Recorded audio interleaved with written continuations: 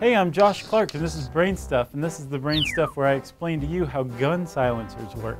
If you've ever seen a cloak and dagger type spy movie or a movie with a hitman or something, you might have seen them like put the little barrel extender under the gun and then sneak up behind somebody and shoot them, and it made a cool sound like which is a pretty great silencer impression if I do say so myself. If you wondered what was going on, or you're a hitman looking to keep your arms quieter, I'm going to explain to you how a silencer works. We should probably start off by pointing out that they're not actually called silencers. That's what people who don't know what they're talking about call them.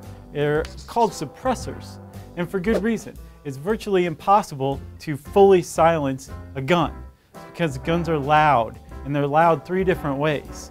The whole loudness starts when the hammer hits the firing pin. It makes a nice metallic sound, which isn't too loud, but it's still a sound nonetheless and it's one of three.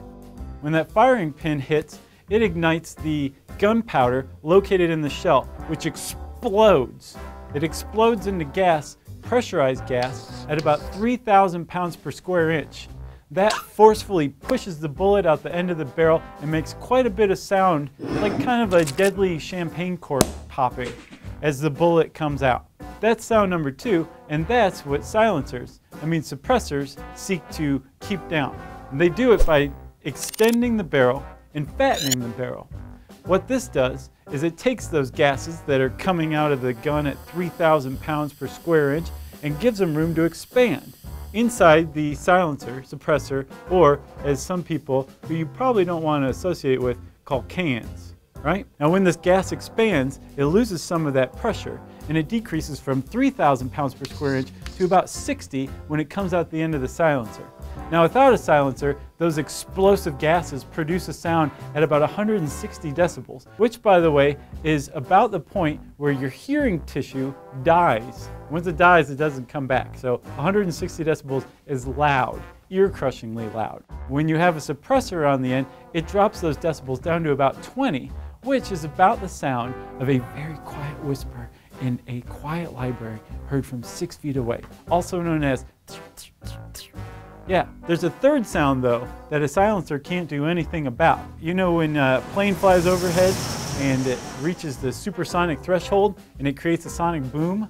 Bullets do that too, except instead of a sonic boom, it's called a ballistic crack. But at any rate, it reaches the sonic threshold when the bullet hits the velocity of 1100 feet per second, which is fast. So, to prevent this ballistic crack from taking place, some manufacturers produce ammunition that have bullets that travel at less than 1100 feet per second. They still move pretty fast, but not fast enough to create that little sonic boom. Hence the third sound is then dampened. So if you have a pretty good silencer and ammunition that shoots bullets out at less than 1100 feet per second, what you're left with is a 20 decibel explosion and just a little hammer clicking. Believe it or not, there are some downsides to all this. While you will look cooler, like uh, Javier Bardem in No Country for Old Men, who had a silencer on the end of his shotgun, and which made his character like 80 times scarier, you're going to be giving up a little bit of uh, power and a little bit of accuracy. Plus, you can still hear a bullet no matter how silent you make a gun if you're the one being shot at because it makes a horribly terrifying, unnerving, zipping sound while it's coming at you. Believe me, I've been in a ton of firefights and I know what Man, I'm talking about. Man, this is boring. I am such a windbag. All I want to do these days is shave. Ever since I went to harrys.com and got a handle, three blades, and shaving cream shipped to my door for 15 bucks, I just want to shave all the time. And now with this promo code of brain stuff, anybody can get $5 off of their first purchase at harrys.com. You really can shave all the time for that kind of money. It's like nothing. I gotta get back to this video. I gotta concentrate. So that's gun silencers. If you're one of those people who likes to talk about guns and silencers and that kind of thing, leave some comments in the comment section below. And maybe subscribe. Well, it won't kill you. Someone with a silencer might, but subscribing to our YouTube channel definitely will not. As a matter of fact, it will improve your life.